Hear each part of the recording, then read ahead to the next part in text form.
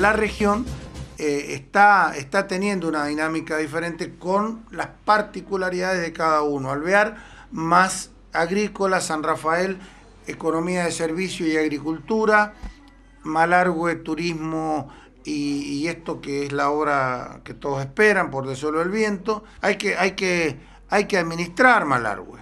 Yo creo que eh, lo que está haciendo don Jorge Vergara eh, es también eh, merece un reconocimiento porque eh, sin estos elementos que decimos, por Tesoro del Viento, se cayó Vale, ¿no? Este, hay que estar ahí, hay que estar gobernando ese lugar. Malargüe, que fue el departamento petrolero, minero mm, por excelencia de nuestra región, eh, hoy está con, con fuertemente con el tema de la actividad turística, con muy buen desarrollo eh, está con la expectativa de Portezuelo del Viento como gran obra, una obra mega que le va a permitir también eh, generar muchas oportunidades laborales y, mucha actividad económica, que también va a tener impacto en San Rafael.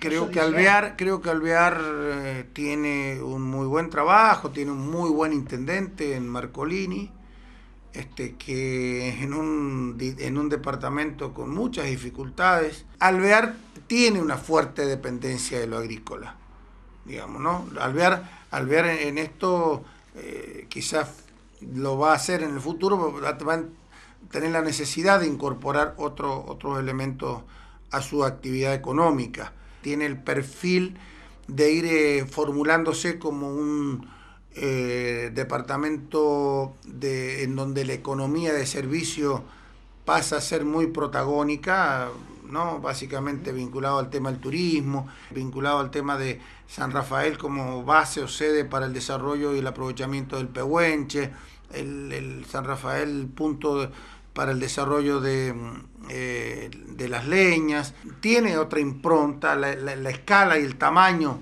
de San Rafael este, le da otra perspectiva económica eh, que no es eminentemente agrícola, ¿no? Si bien yo soy agricultor y, defiendo el sector y todo, pero me doy cuenta cómo, cómo viene la mano. Y, un eje que es transversal a todo, a todo lo que vemos hoy en la política, es la honestidad y la transparencia con que el gobernador Cornejo está manejando esta provincia, que se visualiza en todas las administraciones donde su gente está gestionando.